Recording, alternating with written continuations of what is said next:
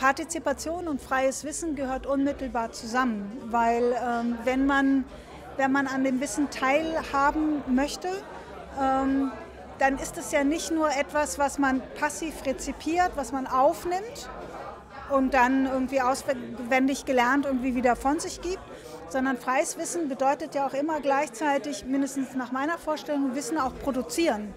Ähm, weil das durch freies Wissen überhaupt erst möglich wird. Durch die freien Lizenzen kann ich halt die Inhalte nicht nur rezipieren, also lesen oder, oder mir anschauen, sondern ich kann damit auch was machen, ich kann damit agieren und, äh, und sie wieder neu zusammenstellen und nach vorne geben, nach draußen geben. Und ähm, insofern ist, glaube ich, freies Wissen immer dann gegeben, wenn Partizipation möglichst breit möglich ist. Also dass, dass halt ähm, die unterschiedlichsten Leute mitmachen können. Ähm, und zwar nicht nur nach den vorgegebenen Regeln, sondern auch ihre eigenen Regeln definieren können. Und Herr Vogel hat es zum Beispiel für den Open Science Prozess ähm, ganz deutlich gemacht, dass es geht halt eben nicht nur darum, die Ergebnisse öffentlich zugänglich zu machen und nachnutzbar zu machen, sondern es gilt auch schon, die, allein die Prozesse öffentlich zu machen und diese partizipativ zu gestalten, frei zu machen. Und, ähm, und da glaube ich, das wurde auch heute Abend deutlich, da sind wir erst am Anfang und äh, das ist auch gut so, weil dann hat Wikimedia noch lange was zu tun.